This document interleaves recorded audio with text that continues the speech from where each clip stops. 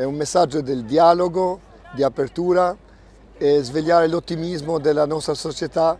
che purtroppo siamo una società piena di indifferenza. Ho scelto Napoli perché penso anche il mio ottimismo, eh, sono cittadino anche albanese,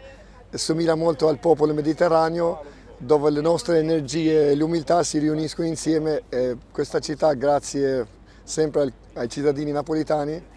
sarà il messaggio che inizia e andiamo nelle altre città, Firenze, Parigi, Madrid. Key of Today è il nome della scultura dell'artista italo-albanese che da questa mattina campeggia in piazza Mercato dove rimarrà per tre mesi un luogo simbolico per parlare di storie di integrazione. La chiave apre le porte ma è contorta a causa delle resistenze mentali e politiche. Un messaggio universale di rispetto reciproco e un incoraggiamento a superare paure individuali e collettive, l'auspicio di una società aperta al dialogo e alla potenzialità di tutti, eliminando barriere e pregiudizi. È la chiave del dialogo, della, dell'accoglienza, della relazione tra i popoli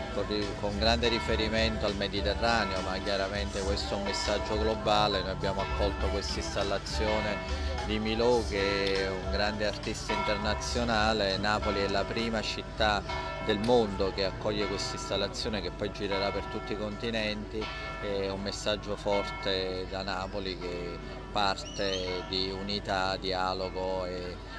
fratellanza tra i popoli. Napoli è una città di grande eh, insomma, di grande capacità anche culturale, di grande talento, di grande creatività, adesso la nostra sfida è fare in modo di canalizzare questa grande creatività in un momento positivo per la città, per fare in modo che sia fattore di crescita per tutta la nostra comunità.